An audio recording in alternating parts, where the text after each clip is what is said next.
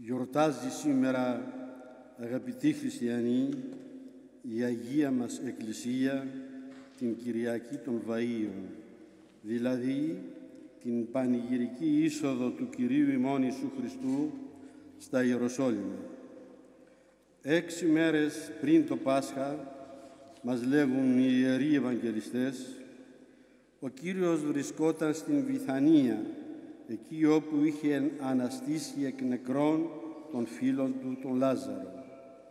Μετά το δείπνο στο σπίτι του Λαζάρου, της Μάρθας και της Μαρίας, των αδελφών του Λαζάρου, έστειλε ο Χριστός δύο από τους μαθητές του, του έφεραν ένα νεαρό γαϊδούρι και την επόμενη μέρα καθήμενος πάνω στο γαϊδούρι αυτό έμπαινε θριαμβευτικά στα Ιεροσόλυμα. Τα πλήθη ζητοκραυγάζουν, σύουν τα βάγια των φινίκων, σαν άλλες σημαίες θριάμβου και νίκης. Στρώνουν στην γη τα ημάτια τους για να περάσει ο Ιησούς. Οι ζητοκραυγές και οι ιαχές συγκλονίζουν τους εθέρες. Το Οσανά ακούεται μυριόστομο από όλους τους Εβραίους, μα πιο πολύ από τα παιδιά, ακόμη και από τα θυλάζοντα βρέφη, για να εκπληρωθεί και η προφητεία του Δαβίδ. Εξτόματος νηπίων και θυλαζόντων κατηρτήσω ένων. Ο Σανά ευλογημένος ο ερχόμενος εν ονόματι Κυρίου, ο βασιλεύς του Ισραήλ, ακούεται μυριόστομη η φωνή. Μια φωνή βαθιά, από την καρδιά βγαλμένη, εκρηκτική, χρόνια μέσα στα στήθη τους κρυμμένη για τον αναμενόμενο Μεσσία λυτρωτή. Μη φοβουθήκατε Σιών, Ιδού ο βασιλεύς σου έρχεται καθήμενος επί πόλου όνου, είχεν προείπει ο προφήτης. Και να το, ήρθε, σκέπτονται οι όχλοι, και ο θρόνος τώρα θα στηθεί, και ο τύρανος και δυνάστης τώρα θα πέσει. Ήρθε η στιγμή, ο Ιησούς είναι ο νέος βασιλιάς, ο Υιός του Δαβίδ, ο Μεσσίας, ο αναμενόμενος. Τέτοιον νικητή τον περιμένουν τα πλήθη, τον, τον περιμένουν τροπεούχο νικητή, βασιλιά κυρίαρχο και κοσμοκράτορα τον θέλουν. Να σπάσει τα δεσμά και να ταπεινώσει την αδάμαστη Ρώμη. Να γκρεμίσει τη Ρώμη και να ανακηρύξει πρωτεύουσα όλου του κόσμου την Ιερουσαλήμ. Να διαλύσει το Ρωμαϊκό στρατό και να συγκροτήσει τον Εβραϊκό, να κατεβάσει τον Κέσσερα και να αναλάβει αυτός ο Ιησούς Αυτοκράτορας. Τρομερή όμως η παρανόηση των Εβραίων. Δεν κατάλαβαν ότι η Βασιλεία του Χριστού ουκέστην εκ του κόσμου τούτου. Δεν κατάλαβαν ότι ο θρόνος του Χριστού δεν θα στηθεί στη Ρώμη, αλλά στο Γολγοθά. Δεν κατάλαβαν ότι ο Χριστός δεν ήρθε για να κατακτήσει τόπους υλικούς, αλλά καρδιές. Δεν κατάλαβαν ότι δεν ήρθε να κάνει επίδειξη δυνάμεως και χρήση βίας, αλλά αγάπης, ταπείνωσης και ελευθερίας.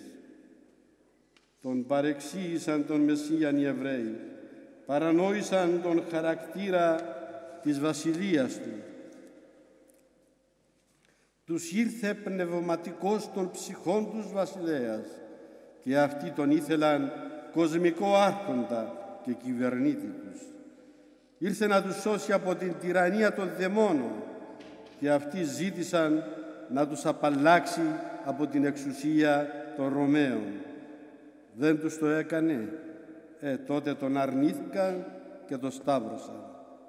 Ο ίδιος όχλος που ζητοκράβγαζε τον Κύριον με εκδηλώσεις αυθόρμητου ενθουσιασμού ως βασιλέα του. Μετά από λίγες μέρες όταν θα δει να διαψεύδονται οι ηλιστικές προσδοκίες του, θα τον αρνηθεί μπροστά στον Πιλάτο. Το σημερινό ο Σανά θα το διαδεχθεί το απέσιο σταύρωσον, σταύρωσον αυτόν.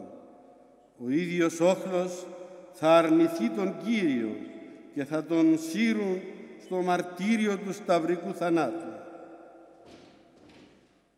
Από τον σταυρό όμως του Κυρίου, από το ύψος του θεοκτόνου λόχου του φρικτού Γολγοθά, αναβλύζει έκτοτε η πραγματική του δόξα, η νίκη του Θεανθρώπου πάνω στο θάνατο. Η δε η αρχή, ευλογημένος ο ερχόμενος, έμελε να γίνει πεάνας και δοξαστικό, ύμνος ευχαριστήριος κάθε ανθρώπινης πνοής για την άφατη συγκατάβαση και βουλή του Θεού να πορευτεί εκούσια προς το πάθος για να μεταμορφώσει την ιστορία και τον άνθρωπο και όλον τον κόσμο. Ο Σταυρός του Χριστού έγινε η γέφυρα που ένωσε ξανά τον άνθρωπο με τον Θεό και από τότε, από το ύψος του απέσιου εκείνου οργάνου, δωροφορεί στον άνθρωπο την ελπίδα της αιώνιας ζωής, τον μύτο της εξόδου του από τα αδιέξοδα και ανεξερεύνητα σκότη του άθλιου λαβυρίνθου του θανάτου. Τα βάια των φινίκων και η κλάδη της ελιάς που κρατούμε σήμερα στα χέρια μας είναι σύμβολα της νίκης και του θριάμβου για την Ανάσταση του Λαζάρου η οποία είναι προτύπωση της Αναστάσεως του ίδιου του Χριστού αλλά και της κοινής Αναστάσεως όλων των ανθρώπων. Πραγματικά, ο Χριστός έκανε το θαύμα αυτό της Αναστάσεως του Λαζάρου ως τύπον της καθόλου των νεκρών Αναστάσεως, τονίζει ο Άγιος Κύριλλος Αλεξανδρίας. Η Ανάσταση του Λαζάρου δείχνει ότι ο Χριστός που με τη θεότητά του επετέλεσε αυτό το μεγάλο γεγονός μπορεί να αναστήσει και τους ανθρώπους κατά την ημέρα που Εκείνος θα ορίσει.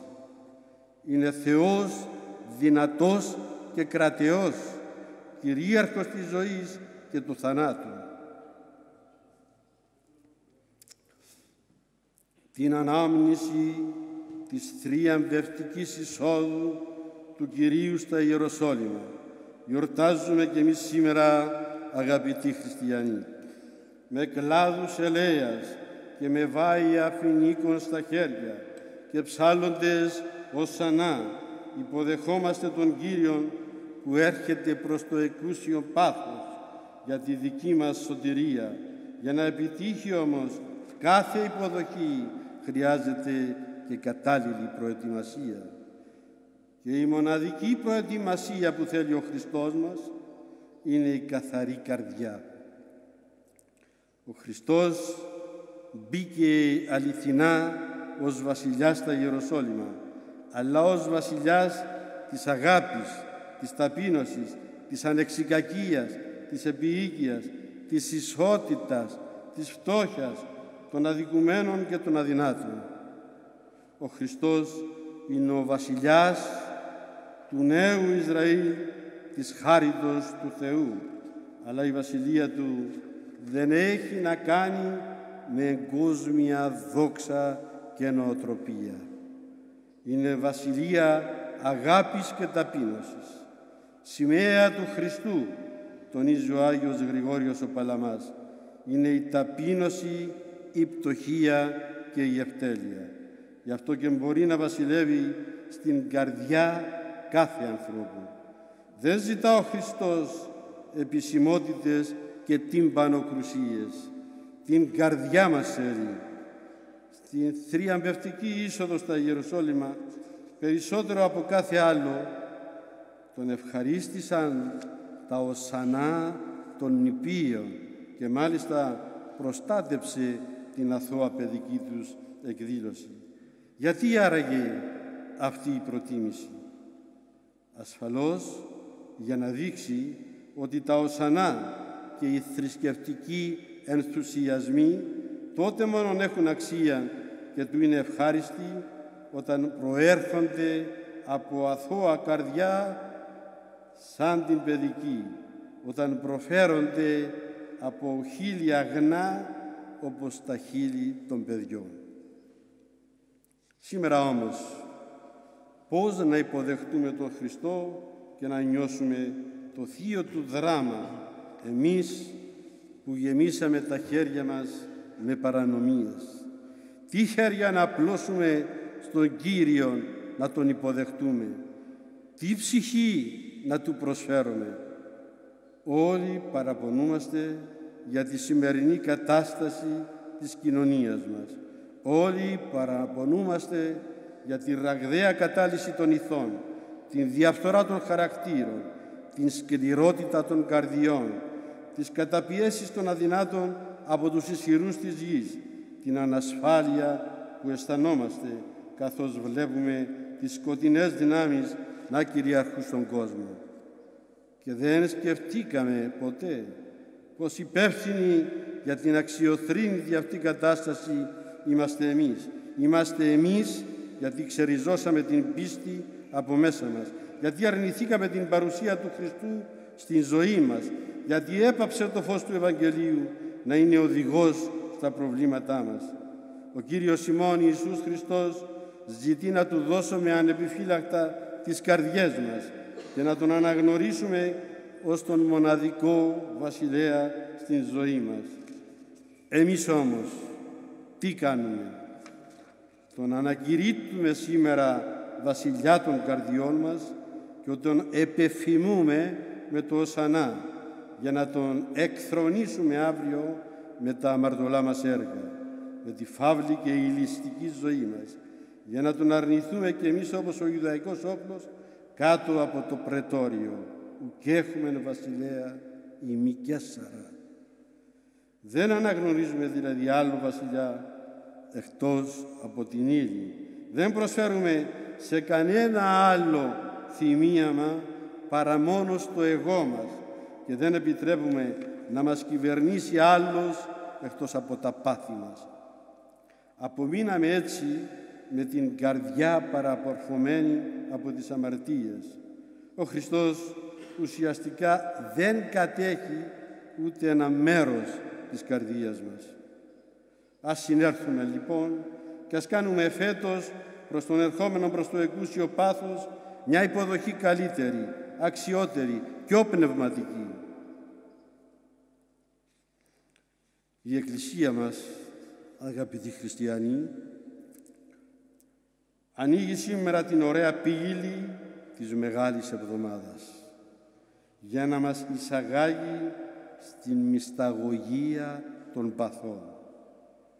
Μας, μας καλεί να ξαναλουστούμε στις Μεγάλης Εβδομάδας στην Κατάνοιξη, να αισθανθούμε κατά τις Άγιες αυτές μέρες δέος και ψυχική έξαρση. Δεν προσκαλούμαστε ως απλοί θεατές, αλλά ως συμμέτοχοι του πάθους, όχι απλώς να υποδεχτούμε, αλλά να συναναβούμε μετά του Ιησού στα Ιεροσόλυμα και να συσταυρωθούμε με, με ταυτού. Τες του βίου ειδονές. Να σταυρώσουμε δηλαδή και να νεκρώσουμε όλα τα πάθη και τις αδυναμίες μας. Τώρα που περιμένουμε τον Χριστό να μπει στα Ιεροσόλυμα του καθενός μας και στην ψυχή μας με τα άχραντα μυστήρια.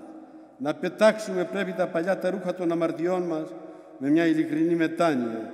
Να απεκδηθούμε πρέπει κάθε παλιά συνήθεια του παλαιού ανθρώπου συν τες πράξεις αυτού και τις επιθυμίες και με μια αλλαγή ολοκληρωτική της ζωής μας να πάρουμε στα χέρια μας τα βάια της νίκης, τις αϊθαλείς πνευματικές αρετές και ύστερα με άρρητη χαρά και αγαλίαση να πλησιάσουμε την Αγία Τράπεζα του άρτου της ζωής, λέγοντας μαζί με τους ανυμνούντες πέδες το «Οσανά ευλογημένος ο ερχόμενος εν ονόματι Κυρίου».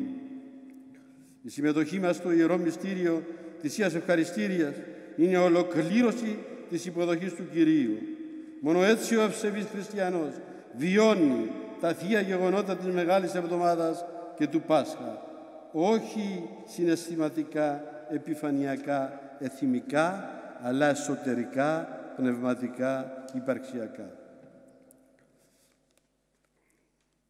Δυστυχώς όμως φέτος εξαιτίας της φοβερής λοιμώδους νόσου του κορονοϊού που εξακολουθεί να παραμένει αδάμαστος και να σπέρνει παντού τον πανικό εξαιτίας του φόβου του θανάτου θα ζήσουμε όλοι πρωτόγνωρες καταστάσεις απέχοντας από τις ιερές ακολουθίες της Μεγάλης Εβδομάδας και τη Θεία Λειτουργία της λαμπροφόρου Αναστάσεως του Κυρίου και από αυτήν ακόμη την Θεία Κοινωνία, το φάρμακο αυτό της Αθανασίας.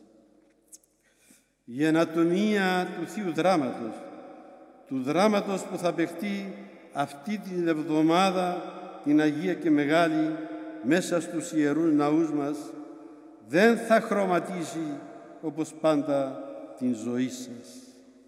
Αυτή η πύρινη σφραγίδα του Θείου Πάθους δεν θα σφραγίσει φέτος την ψυχή σας. Αυτό το ρίγος της τραγικότητας, ρίγος θεϊκό που συγκλονίζει τις καρδιές και αναμοχλεύει τη ζωή μας ολόκληρη, δεν θα το νιώσετε φέτος. Και το χειρότερο όλο, όταν τα μεσάνυχτα του Μεγάλου Σαββάτου προς την Αγία Κυριακή θα σημάνουν, αν επιτραπεί βέβαια τούτο, χαρμόσυνα οι καμπάνες των εκκλησιών μας και θα διελαλούν το μέγα γεγονός της ένδοξης εκ νεκρών ζωηφόρου Αναστάσεως του Κυρίου. Δεν θα τρέξετε όπως τρέχατε πάντα με πόθο ιερό στις φωτόλουστες εκκλησίες μας. Δεν θα κοινωνήσετε το σώμα και το αίμα του Κυρίου, εις άφησιν αμαρτιών και εις ζωηνιόνιων. Δεν θα περιπτυχθούμε αλλήλους, αγαπητοί χριστιανοί. Θα παρακολουθείτε όλοι από τις τηλεοράσεις σας τα λεγόμενα και δρόμενα στους ιερούς ναούς μας, εγκλεισμένοι στα σπίτια σας και στα διαμερίσματά σας, στις σύγχρονες αυτές κατακόμβες, στις οποίες μας καθήλωσε ο εφιάλτης του τρομερού και αόρατου σύγχρονου διώκτη των χριστιανών, του επάρατου και θανατηφόρου κορονοϊού. Ευτυχώς όμως η σύγχρονη τεχνολογία δίνει τη δυνατότητα σε όλους να ακούσετε μέσα από τους τηλεοπτικούς δέχτες σας τους εκκλησιαστικούς ύμνους των Αγίων αυτών ημερών, τους συγκλονιστικούς αυτούς ύμνους που αποστάζουν με το περιεχόμενό τους και το μέλος τους στο μουσικό ίνων κατανήξεως. Μιλούν στην καρδιά και την κατανήσουν την ψυχή μόνοι τους, χωρίς θεολογικά ή άλλα σχόλια, λειτουργώντας αυθεντικά και σωστά με τον τρόπο το δικό τους, τον ένθεο, βοηθώντας μας έτσι να αναχθούμε στην μεταισθητική σφαίρα της πνευματικότητας, όπου η ψυχή μπορεί να αισθανθεί γυμνή μπροστά στον πλάστη της, έτοιμη να ανοίξει λυτρωτικό εσωτερικό διάλογο μαζί του. Η χρήση της τεχνολογίας θα σας δώσει επίσης τη δυνατότητα να ακούσετε και να δείτε από τους δέχτες των τηλεοράσεων σας το πιο παρήγορο και αισιόδοξο μήνυμα που άκουσε ποτέ ο άνθρωπος, το μέγα μήνυμα της εκ νεκρών ζωηφόρου Αναστάσεως του Κυρίου και Θεού και Σωτήρος ημών Ιησού Χριστού. Θα ακούσετε τον θριαμβευτικό πεάνα της νίκης, Χριστός ανέστη εκ νεκρών, θανάτο, θάνατον παθήσας, τον ύμνον αυτόν που διαλύει και σκορπίζει τον φόβο του θανάτου. Όλα αυτά βεβαίως είναι ένα βάλσαμο παρηγορίας για την ψυχή του κάθε χριστιανού. Δεν είναι όμως μια βίωση εσωτερική, πνευματική, υπαρξιακή των θείων γεγονότων της Μεγάλης Εβδομάδας και της περίλαμπρης εορτής της Αναστάσεως, που είναι εορτών εορτή και πανήγυρης πανηγύριων. Αληθινή προσκύνηση των Αγίων Παθών, αγαπητοί χριστιανοί, είναι η μετάνοια και η εξομολόγηση. Και αληθινό Πάσχα και Ανάσταση είναι η Θεία Κοινωνία. Χωρίς αυτά, ο εορτασμός των μεγάλων αυτών γεγονότων παραμένει ένας εορτασμός συναισθηματικός, εξωτερικός, επιφανειακός, εθιμικός. Γι' αυτό και τούτες τις νύχτες της Μεγάλης Εβδομάδας και της περίλαμπρης εορτής της Αναστάσεως έχουμε το βλέμμα της ψυχής μας στραμμένον προς εσάς.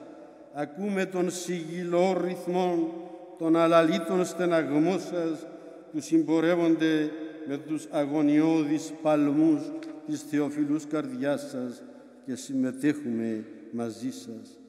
Και πατρικά σας συμβουλεύουμε να καλλιεργήσετε μαζί με την ελπίδα και την υπομονή σας. Να υπακούετε και να εφαρμόζετε τα κυβερνητικά διατάγματα και να παραμένετε στα σπίτια σας μέχρι που η απειλή του κορονοϊού εξαλειφθεί τελείως. Γνωρίζουμε ότι είναι πολύ σκληρή η απόφαση να κλείσουν τους ναούς και να στερήσουν από τους πιστούς την Θεία Κοινωνία.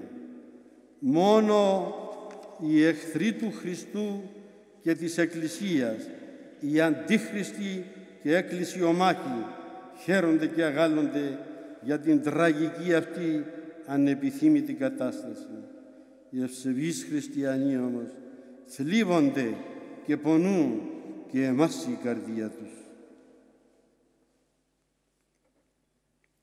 Η αποδοχή για το κλείσιμο των εκκλησιών μας είμαι βέβαιος ότι δεν έγινε γιατί διστάζει η Εκκλησία να αναμετρηθεί με τον κόσμο και τις δυνάμεις του.